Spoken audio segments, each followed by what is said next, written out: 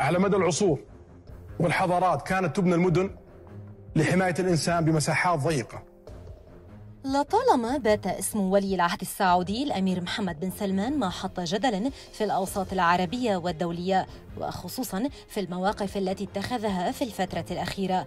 فقيادته وحضوره على الساحة الدولية لابد أنها نبعت من طفولة أسست لهذه الشخصية. وفي هذا التقرير سوف نسلط الضوء على أهم محطات طفولة بن سلمان. أتابع برامجها منذ إنشائها. قدر إمكاني ولا شك أن عدت خدمة. وفي التفاصيل لم يقبل والده الذي كان أمير الرياض آنذاك إلا أن تكون معاملته كبقية الطلاب دون تمييز ولم يكن حاله كحال الأطفال الذين يتمتعون بصداقات مع أشخاص من مستوى مادي واجتماعي مشابه. حيث كان يقضي معظم وقته داخل القصر رفقة أبناء العاملين المسؤولين عن تلبية احتياجاته إذ كان العمال وأبنائهم إضافة للحرس الملكي هم أصدقاؤه في هذه المرحلة من حياته. كان يقضي ولي العهد معظم وقته في ممارسة لعبة ال PlayStation معهم. فقد كان آنذاك مولعا بلعبة Sonic the Hedgehog التي تشكل شخصية Sonic الذي يحاول دائما إنقاذ عالمه وأصدقائه هو البطل الرئيسي فيها.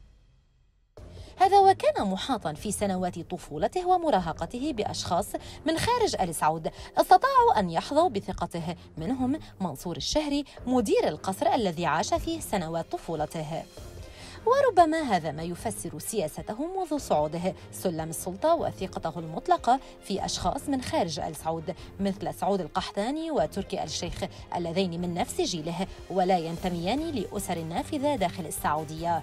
كانت المساحة الممنوحة له تجعله يفعل ما يحلو له ومنها بعض التجاوزات خلال أوقات الدروس على خلاف أشقائه الملتزمين بالاستماع للدروس والجلوس في صمت.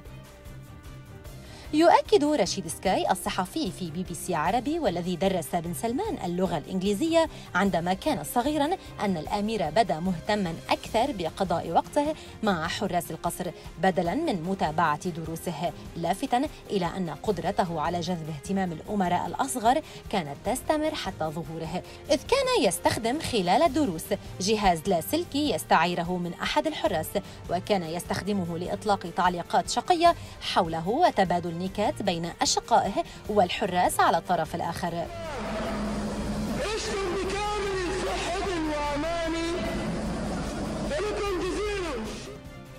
ويذكر معلم آخر أن إدارة المدرسة لم تقم بتسجيل أي ملاحظة سلبية عليه طيلة فترة دراسته في مدارس الرياض بل كان من المبكرين في حضوره للمدارس ولا يتغيب عنها إلا للضرورة القصوى.